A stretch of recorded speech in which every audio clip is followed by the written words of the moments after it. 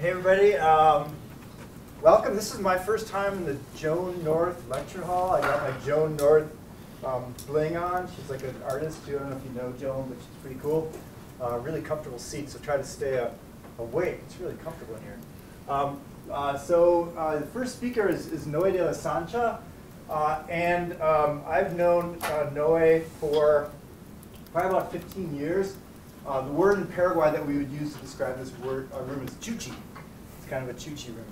Um, and uh, so Noe, uh, you'll, you'll hear about his story, um, but we ran, uh, we kind of came across each other when he was a grad student at Texas Tech, uh, working in Paraguay. And just talking to him over the last couple of days since he, since he got here, reminiscing, one of the things that I kind of forgot about Paraguay uh, is, um, well, there's this term uh, that Mike Mares at Oklahoma coined called sapismo. And sapismo is uh, basically this idea that uh, if you're working in a really small pond, there might be a really big frog, and that really big frog dominates the pond. In Paraguay, it turns out it's a really small pond. And so we knew some uh, big frogs in that pond, they, and they kind of made our lives miserable. So it, it reminded us that in, in, the sciences, we have to na navigate politics as well of, of all of this. Uh, in no you know, I kind of share that. Um, navigating the politics of Paraguay in common. Uh, so without any further ado, I just want to uh, turn this over to Noe to tell his story. Noe?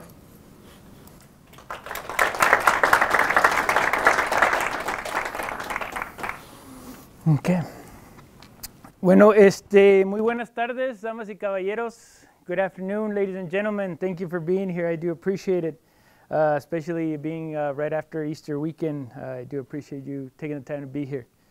So, uh, I guess today I was going to talk some about uh, why I'm where I'm at and why I do sort of the type of research.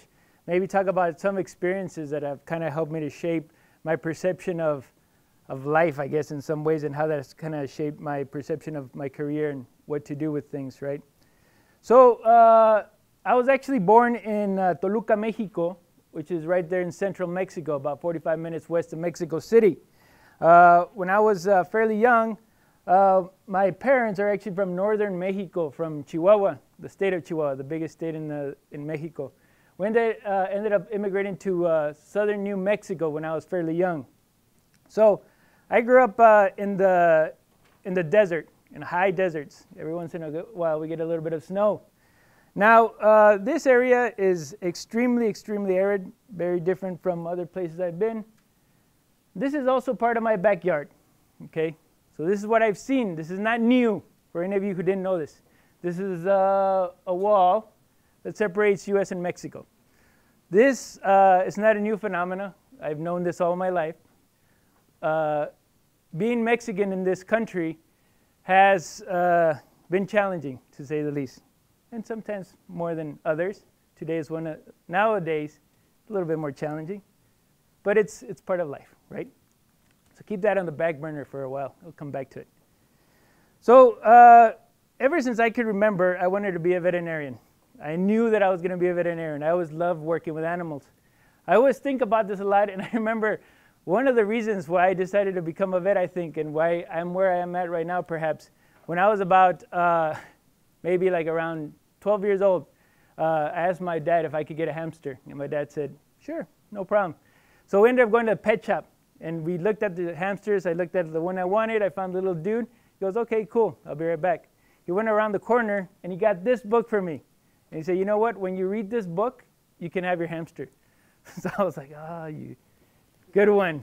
So then I, uh, ended up going back home. I read this whole book in about two weeks, and he, he actually did uh, come through and he got me the hamster. Now, as I was growing uh, older and older, Rob, I did not just throw this in there. There's a point for this. When I got to high school, we had a, a teacher who was pretty amazing, and he was one of the teachers that started teaching environmental science in high schools. And one of the things that he uh, started talking to us was about why was it that in our community was primarily, which was primarily a low-income Hispanic community, why did we have this massive landfill right behind our home, right? Why wasn't it in the rich part of town uh, up in El Paso, right? And one of the things that he started talking to us was about inequality and injustice. and more so environmental injustice. And this kind of really, really, really became very uh, pronounced in my sort of my whole philosophy moving forward uh, for the rest of my, of my life, I think. So, right after that, believe it or not, I ended up going uh, from uh, southern New Mexico in the desert to northern Wisconsin. So, in northern Wisconsin, that's where I got my undergrad. So, I ended up spending about uh, four years in a, uh, right on the base of Lake Superior, right here, in a, uh, in a college called Northland College, which is very similar to Stevens Point, actually. Uh, so, I'm a big fan of Wisconsin. And so, I, I Wisconsin has a little bit of my heart, so to speak. One of the really awesome things about uh, going to school in Wisconsin is that I actually got a lot of opportunities to go outside of the United States, something that for whatever reasons I had not done as much. And one of the first places where I got to go was uh, down here to Botswana. And we took a class where we got to go to Chobe National Park. Chobe National Park is out in the Okavango Delta. It's probably one of the most magical places you will ever see.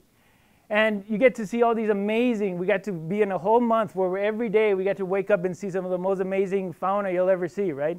And for me, after that, uh, I was kind of like, man, this veterinary de- uh, deal probably isn't for me anymore. Okay, and I was like, I'm going to be a wildlife biologist, you know.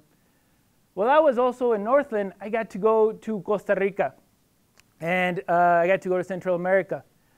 I got to go to this uh, landscape, right? That was the first time that I ever been in tropical rainforest. And when I got there, once you ever go, once you set foot in a tropical rainforest, uh, at least for me, I fell in love. And I was like, this is what I want to do.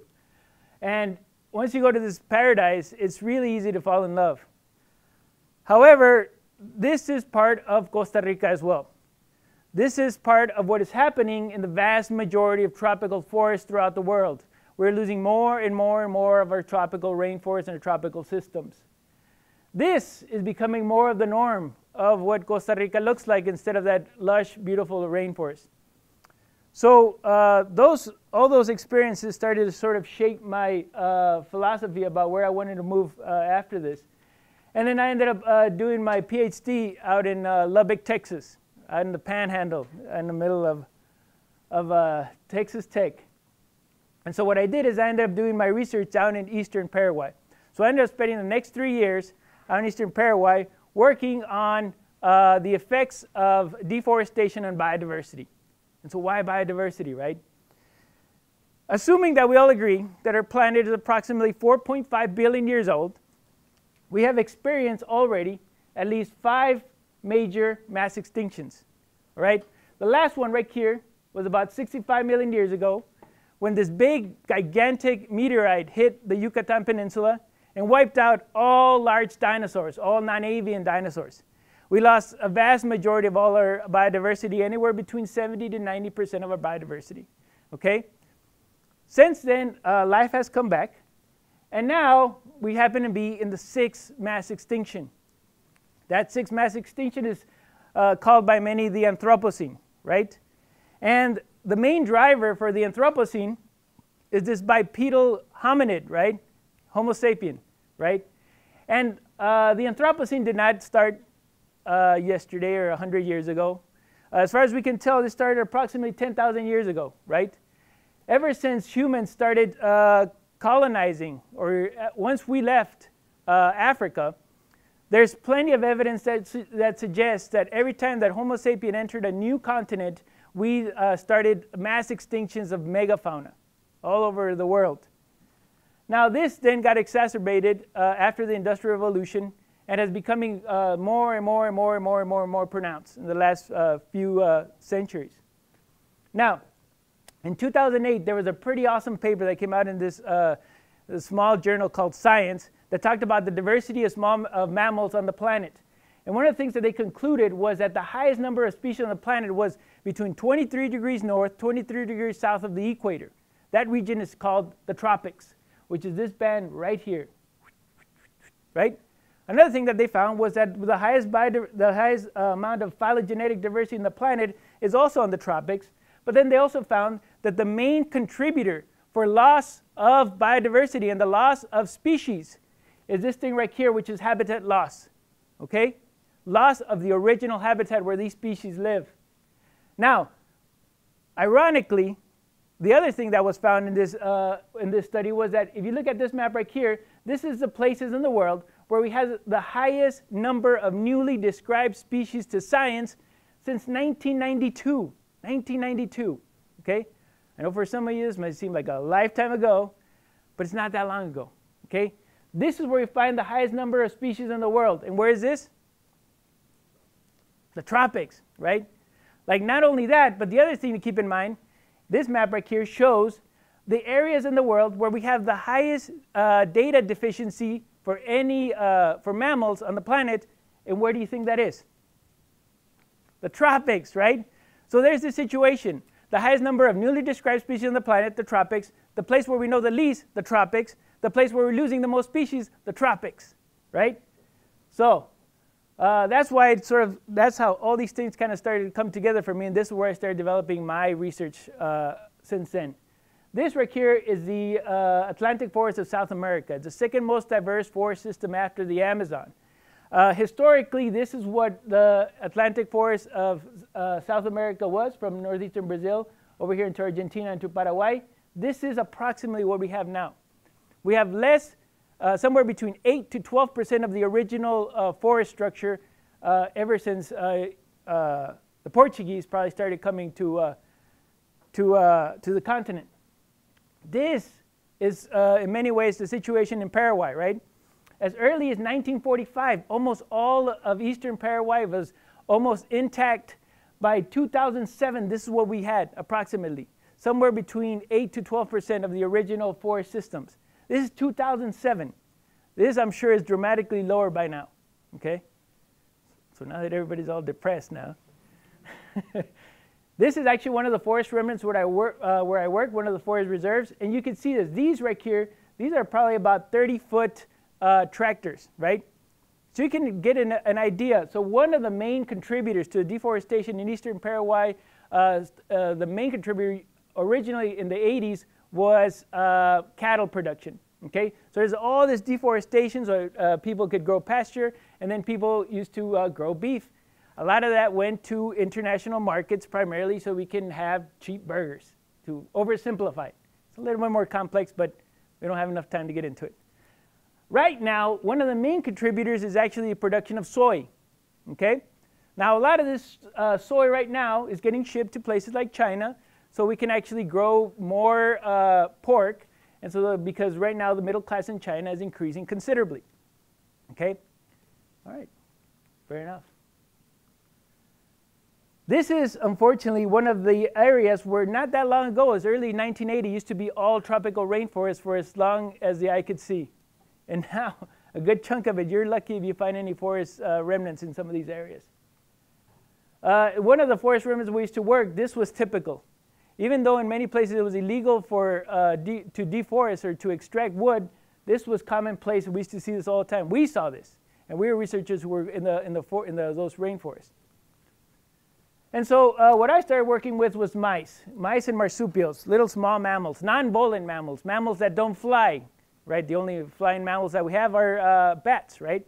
Now, it just so happens that uh, rodents account for 40% of all mammal diversity on the planet.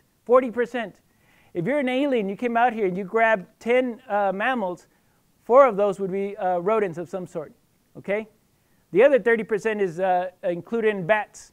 So between rats and bats, that includes approximately 70% of all mammalian biodiversity on the planet.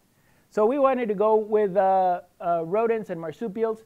The reason for that is because they're fairly small, so we could go out and collect a bunch of them. They have uh, tremendous diversity, as I just mentioned. They have high reproductive rates. So if we collect some of them, we're not going to impact the populations. It's very likely that an owl at any particular night will have a higher impact on those populations than what we would okay? Probably a few foxes. The other thing is that for the most part, they have limited dispersal, right? So unlike bats, which are going to travel anywhere from 10 to 15 miles to go back to the roost, these little dudes, whatever we catch in any particular place, those are residents there. And so that helps us to analyze uh, diversity in that particular location. The other thing, as far as we can tell, they're fairly sensitive to deforestation. Some species are. And the other thing to keep in mind is that they have high levels of endemism. That means that many of these species are only found in the Atlantic forest uh, of South America and nowhere else on the planet. So this was logistically difficult, okay? Working in the tropics is not easy. There's a major wear and tear on all your equipment.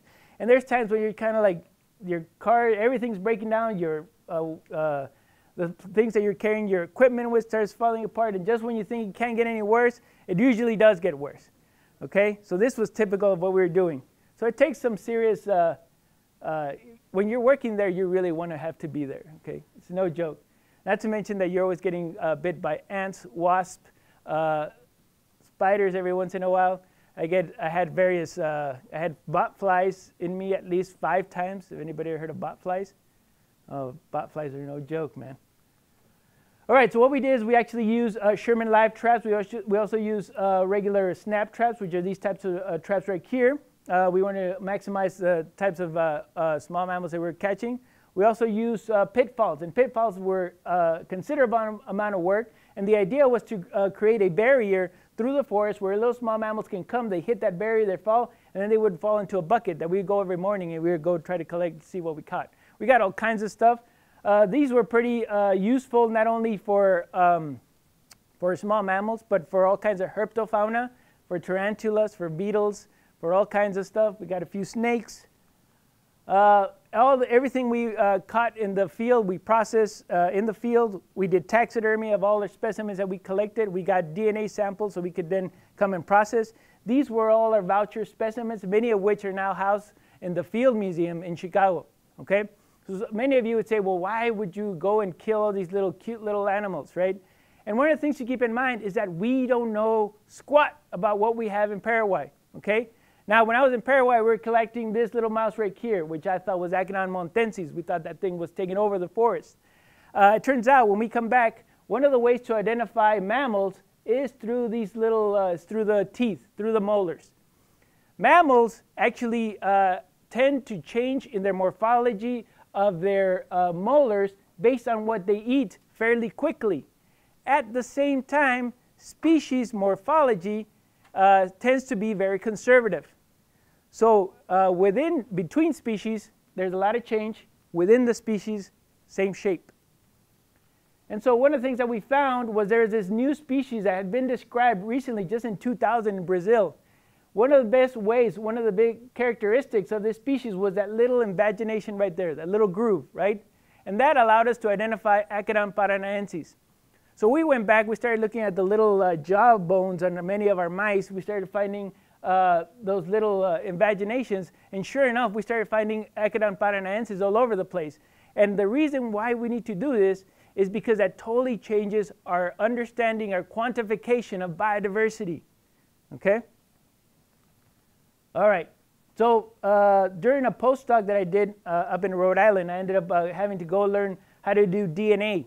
Okay? Now, one of the things to keep in mind, I was talking about this earlier today, when I started off in Paraguay, I thought I was going to be a hardcore ecologist. That's what I was going to be. I was going to be in the field. I was never going to deal with this taxonomy stuff. Okay? Well, very quickly I realized that we don't know anything about that taxonomy of many species of Paraguay. So by default, I had to become a taxonomist. Then I thought, I never want to go work with DNA. I don't want to be stuck in the lab. Very quickly I realized that in order for me to understand what species we, are, we even have, in order to quantify biodiversity, we have to do DNA because for a lot of these specimens, even with the molars, we couldn't even identify what we had. Okay? So what is biodiversity? Biodiversity is two things. Biodiversity is the number of species that you find in any particular place times the number of individuals per species that we get. This is biodiversity. And therefore, if we would have let go so many of these little dudes that we thought that they were one species, our understanding of biodiversity in these forest remnants would have been completely and totally different. Okay? So now more and more and more, uh, I've had to learn about museum science, and now I'm a research associate at the Field Museum, and this has become a big part of the types of research that we're doing right now.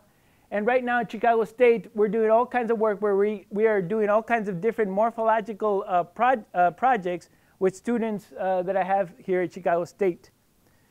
Uh, we've been able to develop all kinds of stuff that deal with uh, variation in, uh, throughout age, with ontogeny and all this stuff. But the big picture here is that all these uh, different studies have allowed us to better understand biodiversity in Paraguay. All right, since 2008, more or less, in Paraguay, we've been able to document several new species of uh, marsupials, various rodents, uh, at least one species of bat, several species of, um, of lagomorphs, which are uh, rabbits, and we also had uh, a new armadillo species that had never been reported for Paraguay. This is just since 2008, okay? I know for some of you, 2008 seems like a lifetime ago, but that was yesterday in the grand scheme of things. Point to be made, we still don't know squat, nothing. We just started a review of the species of Paraguay, and we found that we have approximately 182 species. The last review from 2002 only documented 156 species of mammals in the whole planet. Uh, not only this, in the planet, in Paraguay. One of the big things to keep in mind is that we're not talking about little tiny things, okay? We've realized that we don't even know what uh, species of armadillos we have in Paraguay. We haven't been able to get a good record for uh, sloths, which are fairly large animals in Paraguay. We don't know what is the proper uh, name for the species of, sub, uh, of subspecies that we have of cougars in Paraguay. Even middle-sized cats, we've not been able to identify a good name that correctly represents the species from Paraguay. And a big reason for that is because we don't have a lot of DNA to document these species. Skunks, we don't know exactly what we have. And even tapirs, which are these big, massive animals, uh, probably the largest animal in Paraguay, we have not been able to really clarify what species of tapir we have in Paraguay. And the reason is because there's still a lot of research, basic research, that has not been conducted in this country. So before we start doing conservation, before we start doing management, we don't have the luxury that we have in places here like the United States where we know all the fauna. We don't. And this is very, very uh, typical of the tropics. And this is very challenging, but this is also an awesome opportunity, right? So if you're a young whippersnapper who wants to go out to the tropics, who wants to describe new species, who wants to be able to put a whole uh, understanding on, on the biodiversity that we have on the planet, there's still immense amount of opportunities all over the tropics. Once again, we still don't know uh, what types of peccaries we have, right? And even right now, the nomenclature of uh, peccaries that we thought we really knew, and ironically, this is a species that's best known in Paraguay, the name was just changed just uh, a few months ago. So we still don't know squat.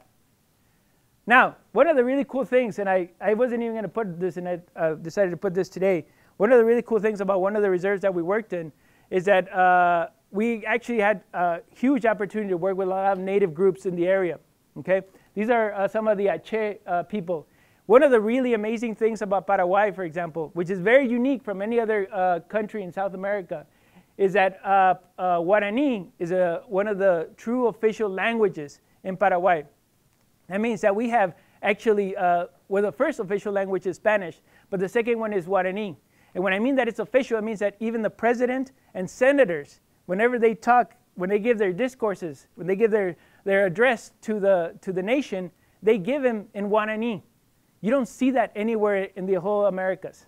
So this is pretty amazing and pretty extraordinary. And so uh, we've been using this data to sort of come up with ways that we can model potentially what is happening in Paraguay as we have more and more and more deforestation. Okay? So this is how we've been able to uh, implement all our understanding to better improve areas of management and areas of conservation. If you want to ask me more about this, I can tell you more about it afterwards if we have time. So I just want to shift gears to a few more stories really quickly. First thing is uh, after I finished, I got a postdoc. I ended up going to University of Rhode Island. I got the opportunity to work with this awesome uh, gentleman who gave me the opportunity to lead a trip to Kenya.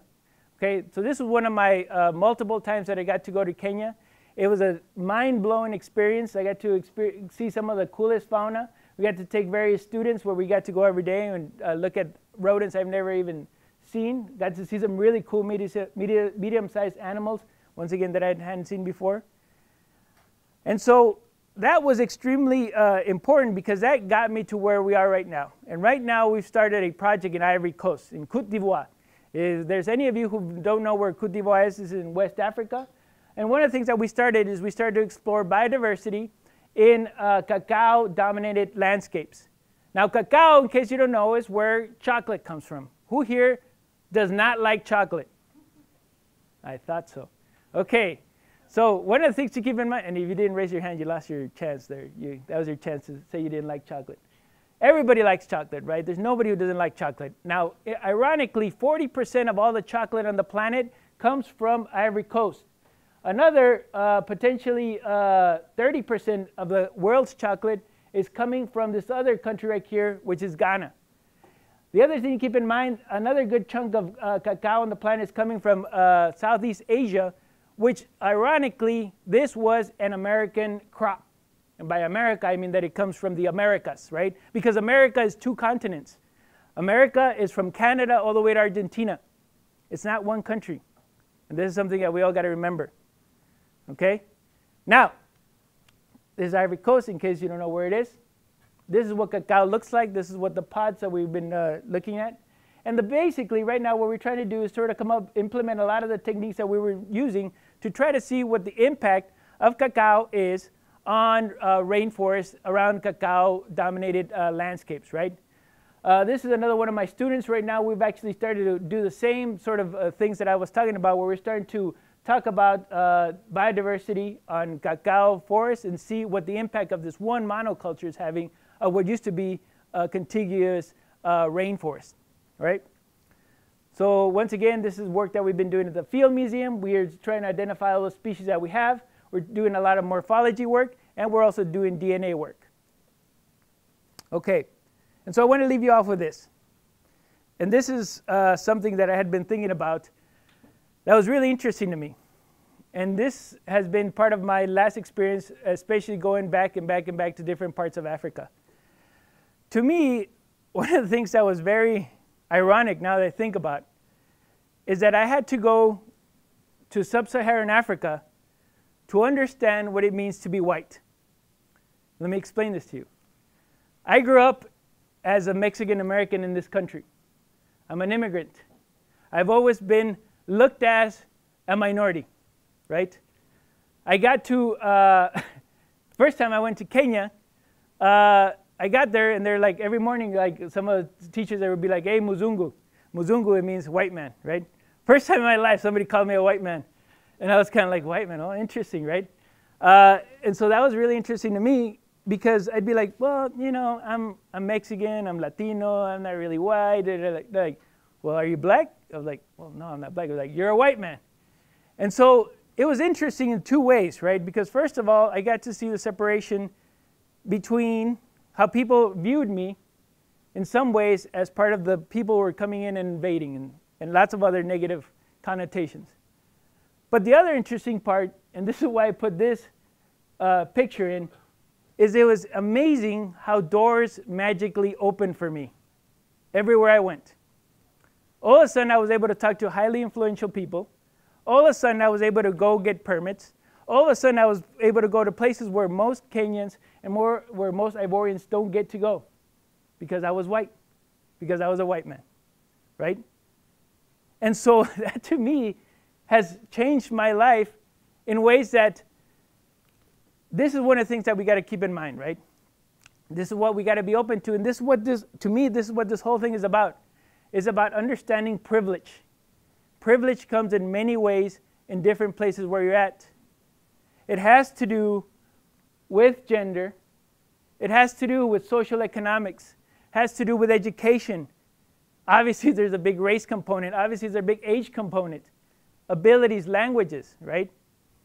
And it's important that when we're talking about various disciplines, even academia, where we're supposed to be really enlightened, we're supposed to be open minded, we're supposed to be other stuff, right? It's more and more uh, that it's important that we realize all these privileges. And to me, when I was uh, when I got to Africa, it made me think about if all I know is this privilege, whatever that part of this privilege thing is. If that's all you know, it's very easy to get into the mindset that if I'm here, why can't you make it? Why can't you make it? Why can't you make it? Why can't you and you, whoever you want to call the you? Because you didn't work hard enough. Because you didn't push yourself harder. You know? Because whatever. You know? And to me, that's one of the big privileges that Africa has given me And when we talk about these types of discussions and this type of thing, this is why it's so important that we do have different faces that are going into these disciplines, right? Because there's different perspectives and different viewpoints about how to address resource management, right?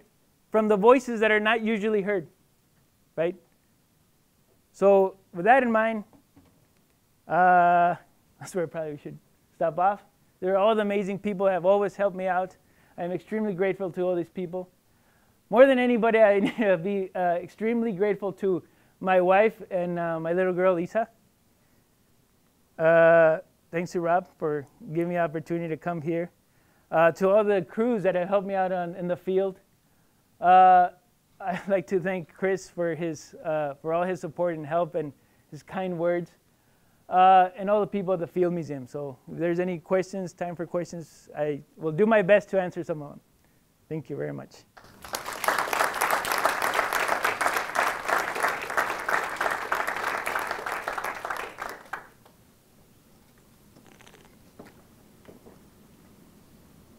Yes, sir.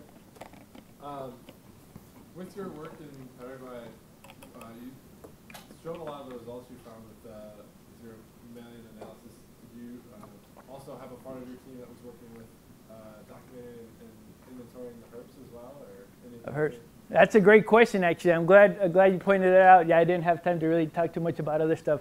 Uh, one of the guys who was my, uh, my right hand guy, he was a herpetologist. And uh, we always had a, a three year battle where I was trying to convert him to the dark side to become a mammologist, and I, I never succeeded. But he actually collected all kinds of uh, frogs, all kinds of. Actually, right now we have a little.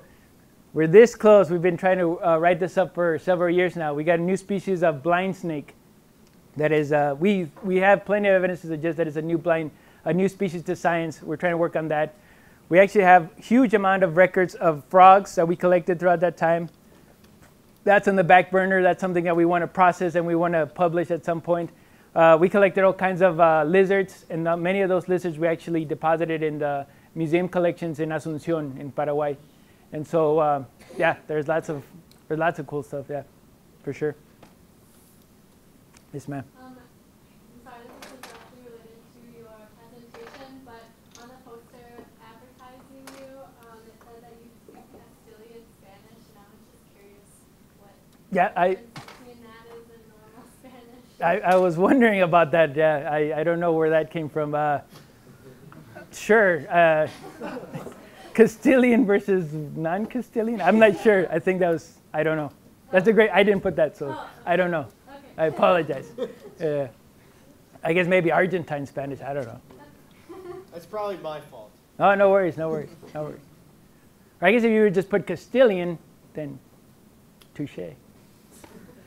Yes, sir. Uh, with discovering new species, did you get the ability to name any? Uh, right now, no, we haven't uh, been able to name any yet. Uh, we do have uh, several things that we're processing right now that we're trying to get uh, going. Uh, in Paraguay, we haven't been able to describe new species for science yet, but we've definitely had plenty of new species records for Paraguay. Um, we have a few things that we are pretty sure they're new species, but you'd be surprised how long that takes. It's a lot of work because you actually, if you do this properly, you have to go, uh, you have to justify why you think this is a new species. So you can use morphology, and that means that you have to go to various other museums, natural history museums all over the world. If you're doing a good job, you have to go look at the holotype. The holotype would be the first specimen that was used to describe that one species. Many of them are in places like the British Museum in England. Some are in the Smithsonian, maybe the American Museum, depending where those species were collected. So it takes a while. It takes a while. But we're working on it. We're working on it. Yes, so hopefully soon. Oh, we did get to describe a new species of, uh, of, uh, of a parasitic worm that we got from a, uh, from a mouse. So we did get to name that. That's pretty cool. No, no. Actually, when, when you're doing uh, taxonomy, you usually, it's, it's considered impolite to name things after yourself. You can name it after your grandma and your mom or whoever, but, eh? anyway, so, yes, ma'am. And then, uh, going into the diversity aspect, um, for those of us who are privileged, how would you suggest, um, I guess remedy that or trying to be better leave. Go somewhere else. Go to a country where you're the minority, whatever that means. I mean, I don't know what a minority even means, but go somewhere where you're not uh, the normal person, you know? Go to South Korea, go to Indonesia, go to Mongolia, you know? Go somewhere where you don't speak the language, right? Where you see what it's like for people to struggle to communicate with somebody independent of how intelligent you are, right? To be humbled, you know? That's important. That's really important. Those are the types of experiences that you only get when you leave your comfort zone. If you're from Wisconsin, leave Wisconsin. Guarantee you that happens like that. Go travel with a backpack through Mexico or Central America. Go uh, to Southeast Asia. Go to uh, Europe, even, you know? Go to uh, Germany, somewhere where you don't even speak the language. I think once you have to struggle through those situations, I think you're more likely to be more sympathetic uh, to other people who are not like you. And there's nothing, and I'm not saying that there's, let's be clear, okay? I'm not saying that, I'm not putting any judgment on anybody, whether you're a good person, bad person, whatever. What I'm saying is, is that it's wise to be mindful. It's wise to be, take a step back and think about that not everybody's like me. And there's every, the reason why people have these perceptions about politics, about religion, about whatever, is because of the consequences of all kinds of stuff, right? The more people from different cultures that you interact with in their uh, shoes, but in their land, that's when you start to understand. When you go learn about, uh, about Japan or about Japanese people in Japan, then you start getting it. When you go to Paraguay to learn about Paraguayans, then that's when you get it. When you go to Mexico to learn about Mexicans and not from a Taco Bell commercial, then that's when you start to get it. Hopefully. And if you don't, I, I, I don't know what else to say. I hope that answers some of your questions. Any other questions? Yes, ma'am.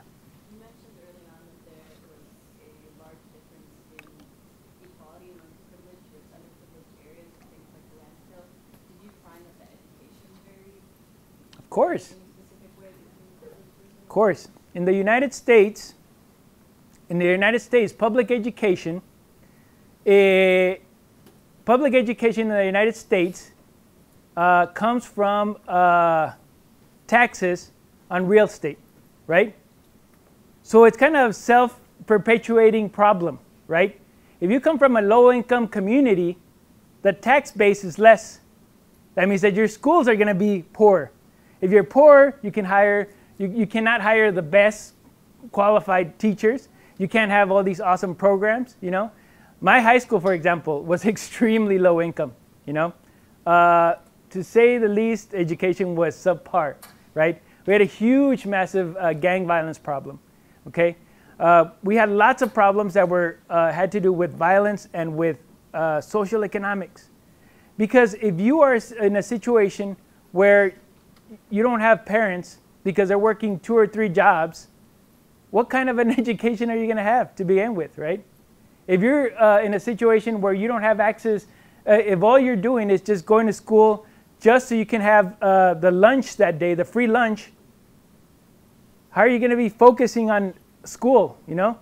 If every time you go home you have to be avoiding these streets and this street and this street so you don't get beat up or potentially shot, which is actually a big part of what happens also at Chicago State where I teach, my university. I'm not talking about high school, I'm talking about my university. How are you going to be able to concentrate on physics, on calculus, on whatever? At some point that becomes irrelevant, right? And I'm afraid about, you know, and there's actually, there's been a lot of really cool studies that have shown that the more stressed out you are, the, the more cortisol, different types of hormones that you produce, the more stressed out you are, the less you're, you're likely to be able to think clearly throughout your life. And if you think about it, if you're stressed out from the second you wake up to when you go to bed, how are you supposed to learn? Especially when you're going to a low income high school or institution where the resources aren't even there to begin with. You know? So there's a direct correlation between all that stuff. So yes, I agree. There is less education. A lot of it is associated with social economics. Yes, ma'am.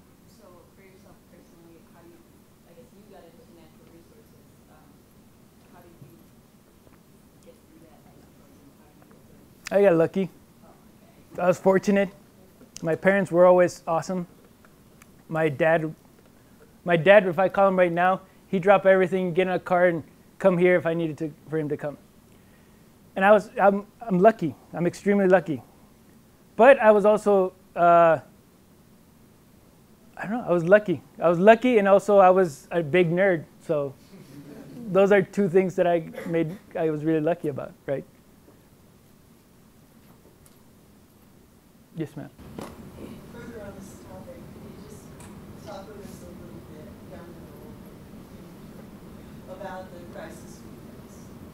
Because as a, a not, a non-scientist, who's really more of a human ecologist than I would, it seems to me that our institutions are wonderful when they take students who want to learn about their scientific field but we're facing the greatest crisis we ever have faced in all of time. So how do we, uh, how do we as both non-scientists and scientists grapple with that? And it seems to me, when you show your, your diagram with the, uh, the privilege, I- I'm gonna call it your privilege diagram, I love it. That, that's the deal. That, that if we don't understand not only our differences, but, but our commonalities, then we're not gonna solve these crises. So I just wonder Yes. what you can tell us, because as an older person, you know, maybe I have 10, 20 years from one to try to make an impact on my government, on my community.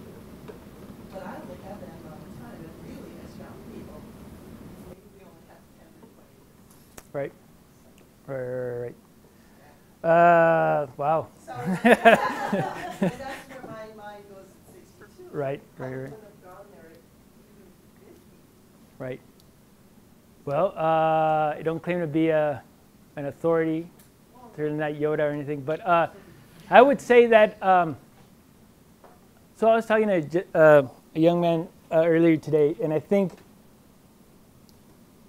I think it's it's wise of all of us to try to become as educated as you possibly can about, especially the interface between uh, our everyday lives, our consumptions, in this uh, perspective, environmentalism and politics. They're all related. Everything in life is politics. And I'm not talking about what political party you belong to. That's not what I'm talking about. I'm talking about uh, we are social primates. Everything we do is politics.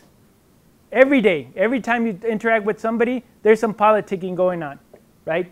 You're trying to interact with him, with her, blah, blah, blah, blah. You like him, but you don't like him because he likes her, da, da, da, da, da, da, da. That's politics. We see this every day in everything, right? I think it's important that we become as educated as we can about core issues as possible, right? Independent of what political viewpoint you have, it's important that you can justify why you feel that uh, thing. You know, I have some of my really good friends are are, are hardcore Republicans. Uh, in case you didn't pick up, I'm not. That that's okay. There's nothing wrong with that. But I think that's important that you should be able to justify why you have that belief system. Okay, as a scientist, uh, I believe in evidence, and I believe in data, not feelings. Feelings are not going to get us to solve these problems. Data is, problem solving is. And I think the bigger thing is we got to go out there and try to live in somebody else's shoes. It Seems sounds a little cliche, but like I was telling her, get out of here, you know? Go somewhere else. Go see what go see what real tough situations are like. In Bolivia, in Paraguay, in Mexico. Why are people from Mexico coming to the United States? There's lots of reasons for that, right? And a big part of that is because of exploitation by the United States on Mexico for almost 300 years, you know? It's a feedback cycle. For every action, there's an equal and opposite reaction. Not only that, but ironically, from Texas to California, that used to be Mexico, you know? There's people who are Mexican. This, this was our land, you know? And ironically, people want to set up a wall to keep our people out of the what was used to be ours. And it's not even ours because there was people before us. There's many Native American groups before us. The Navajo, Apache, whatever. That's their land. We're all invaders. All of us. If you're not Apache, if you're not Native American, we're all invaders. So start setting up walls for who? For what? That's irrelevant. That makes no sense. I mean, maybe it would have helped out if we would have put a, a wall against Texas way back in the day, right? We wouldn't be in this mess, ironically. Because I think that these are the things we don't talk, talk about. Right. We don't get a chance to, or, Right, right, or we're talking about. right. or- Sure. But, uh, I remember coming to three fifty over the last few years, and there were some local elections that were gonna happen.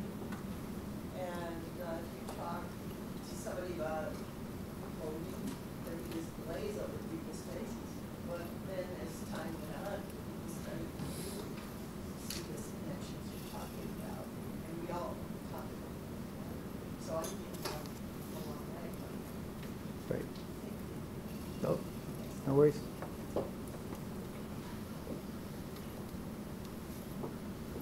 I'm curious if you can draw any corollaries from us or for us uh, with the work you've done studying sort of small mammals and taking that and sort of extrapolating it to us as a larger species. And anything that you would say you're learning from that study that we should either be aware of or that we might be ignorant of that you might sort of enlighten us to as it relates to studying field mice and being able to say, and this is why it's important from uh, a Homo sapien perspective. Sure. I mean, yeah, I think I'm gonna steal some of your ideas today. So, uh, if we think about it, one of the things that we start seeing, right, with mice and with other mammals, as more and more of their habitat starts to disappear, eventually gets to the point where they lose so much of their habitat that they eventually go extinct, right? We are not unique to that. We are not special. One of the things that I always talk about, right, uh, to my classes, if we were to get this whole table right here, right, let's assume that that's the whole uh, diversity of, this is, this is the timeline of our planet, this whole table right here, right? Let's assume that it's 4.5 billion years. We take off the 0.5 over there, and start, let's say it's 4 billion years. Get half of this, this is going to be 2 billion years, right? Get half of this, it's going to be 1 billion years. 1 billion years. Get half of this, this is 500 million years, right? This is when a lot of vertebrates explode in diversity. Divide that in half, 250 million years, 125 million years, 75 million years, 35 million years, uh, 15 million years, 7.5 million years. You get to this point, this is 1 million years. Homo sapien has been on our planet, as far as we can tell, for 200,000 years. 200,000, you have to multiply it by 5 to get to 1 million. 1 million. The time that Homo, Homo sapien has been on our planet is a little sliver on this massive thing. So the point to be made is that this bipedal primate, we're not special. We're just as likely to go extinct as large dinosaurs who were around for 150 million years. We haven't even made it to 1 million years. We're not special. If we pollute our, our, our waters, if we pollute our soils, we pollute our water, our, our air, that's finite. If we pollute it, there's no more. We don't have another planet to go to. This is what we got. If we trash it all up, where are we going to go? There's nowhere to go. So I guess that's my correlation. We're just as vulnerable as any other species, as any other mammalian or any other species.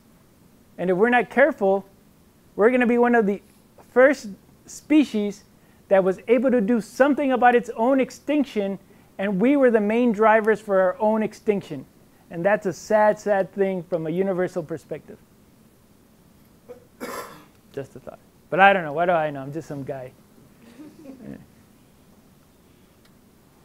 Any other questions? All right, so I don't want to take any more.